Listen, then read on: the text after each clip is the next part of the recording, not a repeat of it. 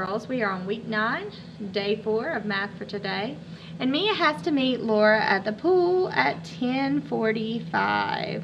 So this is 30, 35, 40, 45. And it's way over. It's almost 11 o'clock. Draw the hands on the clock. So it's between 10 and 11 and it's closer to the at that 11. These are all mental, so I'm not going to help you with this. You are just changing the hundreds place by one. 500, 600, 700, 800, and 900, and then the ones and tens stay the same. How many more people picked apple juice than grape juice? Well, if I look at this, apple juice is 125, grape juice is 75.